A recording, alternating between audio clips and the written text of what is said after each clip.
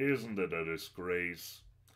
Everybody just tries to pretend that things never happened.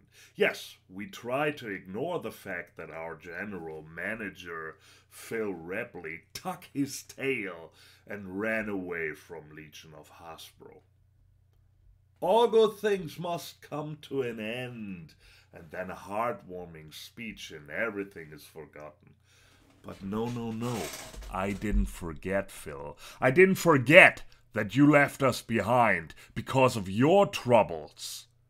You left us behind because you couldn't get over yourself.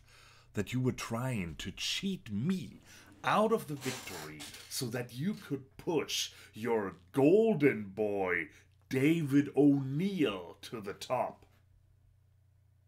And now, now you're back.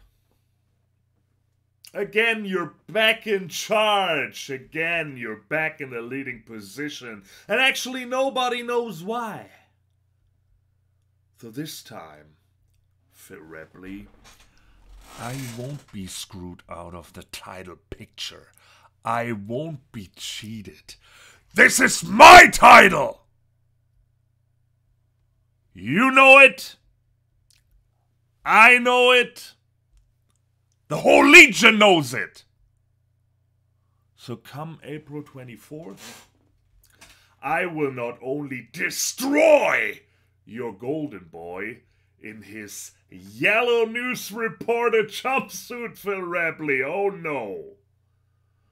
I will make you, yes, you, Phil, accept me as your savior.